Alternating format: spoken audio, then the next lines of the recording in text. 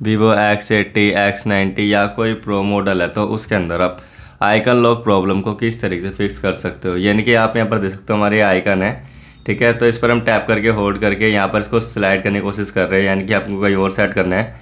तो ये मेरे बिखरे हुए, मेरे को सेट करने हैं तो यहाँ पर ये सेट हो ही नहीं रहे। यहाँ पर ऑप्शन आ रहा है होम स्क्रीन लॉक लेआउट आप देख सकते हो यहाँ पर इस तरीके से। और यहाँ से आप ऐप ड्रॉर से कोई भी ऐप को होम स्क्रीन पर ऐड करने की कोशिश कर रहे हो तो वो भी नहीं हो रहा है यहाँ पर। तो आपको क्या करना है इसके लिए? सबसे पहले आपको अपने होम स्क्रीन पर खाली जगह पर से टैप करके होल्ड करना है।